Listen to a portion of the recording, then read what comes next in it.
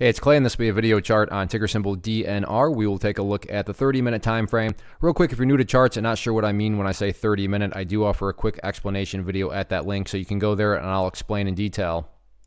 Well, I'm going to state the obvious, but I will anyways. Very nice movement today when you stop and think about the fact that at one point the price was all the way down here, and now the price has worked its way back up to this area of the chart. Any rational person would say, yeah, the price has certainly made a nice movement today, but that does lead to the value or the valid question of but is there any sort of true power behind today's price movement? Is there any sort of genuine strength?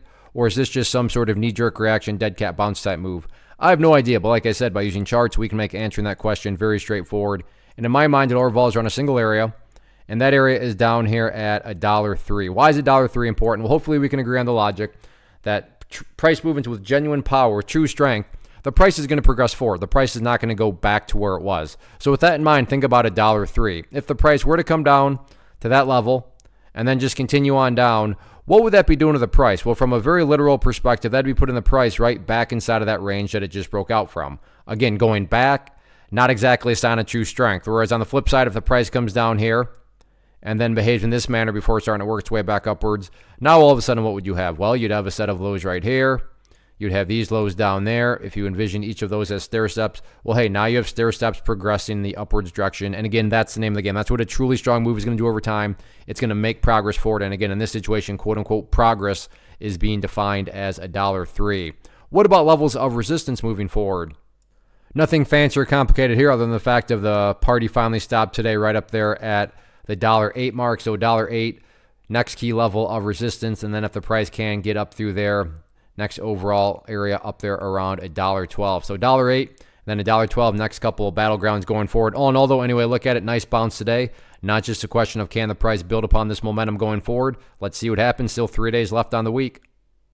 First off, thanks so much for watching the entire video. Real quick, before you go, I want to invite you to a live webinar, web class, training, workshop, online event whatever you want to call it, but it will be me live revealing to you what I discovered that has allowed me to transform myself from being an employee to being my own boss, including how I had only one losing day out of 73 days in total. I'm going to cover three keys that have helped me unlock profitable consistency within the markets. The first key is super weird, but in a productive type of way. The second key is super awesome because it quite literally is wired into our DNA as humans, making it very easy to use. But in a cruel way, this becomes a pitfall for many traders. I'll explain it all though, including how to avoid the pitfall that it creates for some. And yeah, the third key, when you hear it, sounds way too good, way too good to be true, but it's not, and I'll show you how it all works. Then at the end, I open it up for a question and answer session that is, again, totally live. Even if you can't make the live session, please still sign up as it will be recorded, and you can go back and watch the replay that I will send you.